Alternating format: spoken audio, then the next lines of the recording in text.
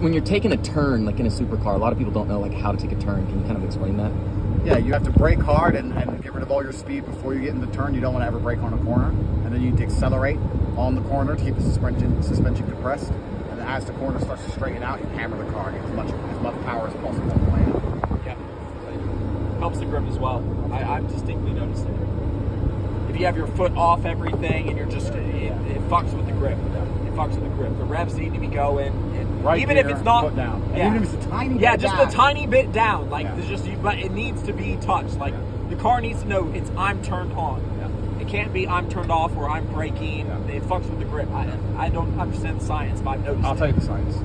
When you accelerate a car, because of the way it's built, no matter how, before it can possibly move forward, it, it compresses the suspension. It goes down and forward. So when you have a little bit of gas on, the suspension's going compressed. When you have no gas on, the suspension's released. If that makes sense. You have to always have gas on. Always. Yep. The more you know. Now you guys know.